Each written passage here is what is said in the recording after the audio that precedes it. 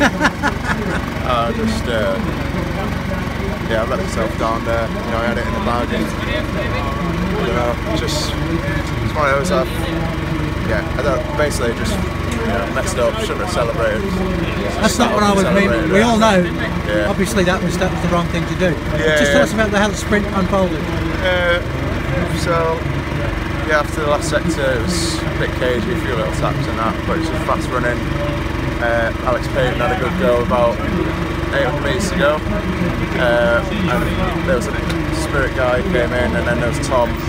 Tom kicked out round, so we went. I went. Tom went in third around the last corner. I was fit fourth. Um, Tom like did a perfect little lead out. And I opened up with like 150 to go, and yeah, had it in the bag, and then the rest we know. So These things happen, but I mean, it, it shows the legs are good, the form's good. yeah, definitely. Um, I say it's you know it's such a shame to finish this way. Um, but yeah, credit to uh, the rally guy came uh. So.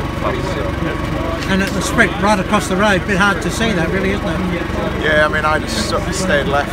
Um, so, um, and yeah, we nailed the sprint basically. Very different race to last year. yeah, it was actually. Yeah, it was kind of, you know, it's, it's kind of work, trying to work out where you know I went in that last year, and we went.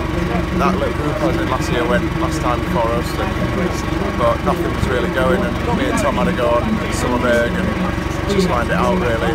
Formed a few little groups, but nothing solid. So. Yeah, and then um, yeah, it's just you know everyone having a go on the little climbs on the on the finish that, on the sectors. So I think there was a lot of good legs there today, so it made it quite quite you know, everything just nullified itself. So yeah, it's, it's, yeah, it's a good one.